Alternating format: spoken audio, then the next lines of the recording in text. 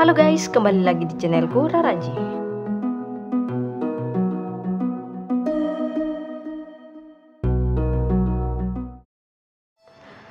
Setelah kamu memutuskan untuk tinggal di desa Stardi Valley dan menjadi seorang petani, maka kamu bisa mengolah lahan untuk mendapatkan gold dan memajukan lahanmu sendiri.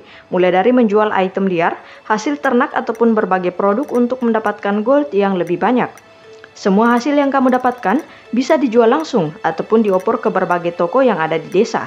Dan tentu saja, ada orang-orang di desa yang akan senang hati menerima item yang kamu jual. Namun siapa orang-orang di desa yang paling mendukungmu dalam mengembangkan pertanianmu? Mari kita bahas bersama ya guys. Berikut ini 10 warga desa yang paling mendukungmu mengembangkan pertanianmu di Stardew Valley. Oke, langsung saja kita mulai teman-teman.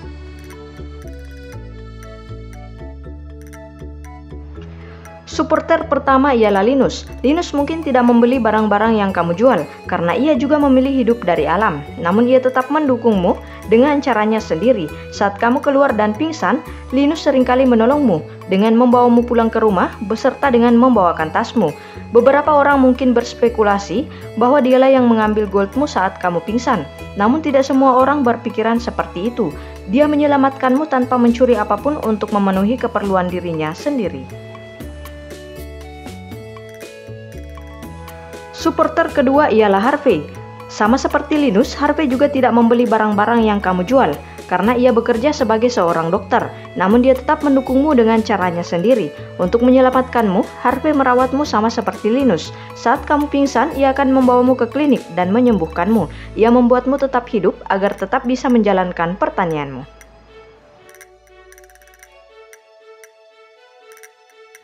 Supporter ketiga ialah Clean. Pandai besi ini adalah pendukung terbaik untuk mengembangkan pertanianmu. Ia dengan senang hati membeli barang-barang yang kamu jual dari hasil penambangan. Selain itu, ia juga membantumu meningkatkan peralatan ataupun tools yang kamu gunakan untuk membantu pekerjaanmu dalam pertanian, seperti cangkul, beliung, kapak, dan kaleng penyiraman. Ia mengubahnya menjadi lebih baik agar pekerjaanmu menjadi lebih maksimal.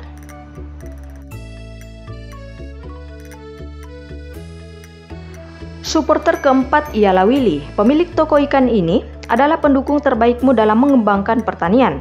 Sejak awal kamu datang ke desa, ia sudah memberikan effort yang baik dengan memberikanmu pancing gratis untuk latihan memancing ikan dengan tujuan mendapatkan ikan untuk dijual. Selain itu, ia juga bersedia membeli apa pun yang kamu hasilkan, baik dari laut maupun dari sungai.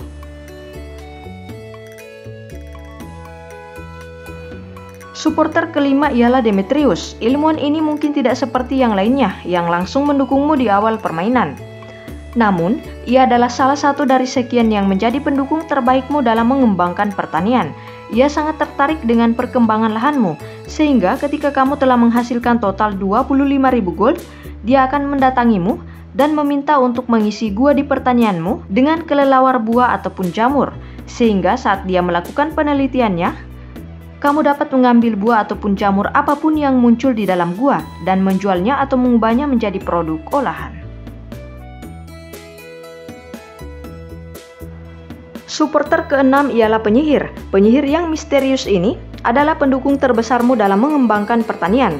Sejak awal, ia sudah membantumu mengatasi pusat komunitas agar dapat memahami bahasa dari Junimo Kemudian setelah komunitas selesai, ia juga akan memberikan bantuan lainnya seperti menyediakan berbagai kebutuhan yang dapat memudahkan kamu dalam mengelola pertanianmu, seperti menyediakan pondok Junimo untuk membantu meringankan tugasmu dalam memanen, obelix yang bisa memindahkanmu dengan cepat, dan jam emas yang bisa menjaga lahan dari hama dan pelapukan.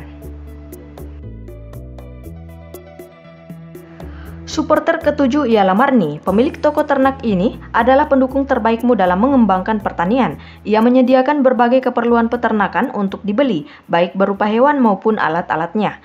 Kalau bukan karena Marni, mungkin tidak ada ternak yang akan berkembang di pertanianmu yang luas itu.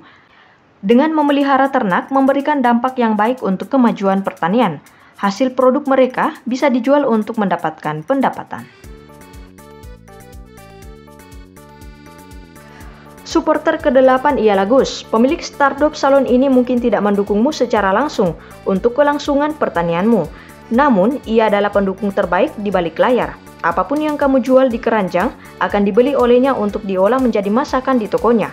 Selain itu, ia juga menyediakan berbagai resep masakan dan hidangan untuk dibeli, yang sewaktu-waktu kamu perlukan untuk memulihkan tenaga. Ini adalah hubungan timbal balik yang sangat baik untukmu dan pemilik Stardop Salon. Supporter ke-9 ialah Robin. Wanita tukang kayu ini adalah support terbaik dalam membantu perkembangan pertanianmu. Karena ia tukang kayu, ia berjasa besar untuk membangun jenis bangunan apa pun di pertanian, mulai dari upgrade rumah, kandang, kolam, dan lain sebagainya. Selain itu, ia juga dengan senang hati membeli barang-barang yang akan kamu jual padanya, berupa sumber daya alam seperti batu, kayu, dan juga fiber. Supporter ke-10 ataupun terakhir Pierre, pemilik toko kelontong ini juga berperan penting dalam perkembangan pertanianmu. Ia dengan senang hati membeli barang-barang apa pun yang kamu jual padanya, meskipun banyak orang yang tidak suka padanya karena dianggap memanipulasi barang-barang yang kamu jual kepadanya dengan menaikkan harganya menjadi lebih tinggi dan mengakuinya jika barang tersebut berkualitas tinggi. Namun, apakah itu penting selama ia terus membayar item yang kamu jual?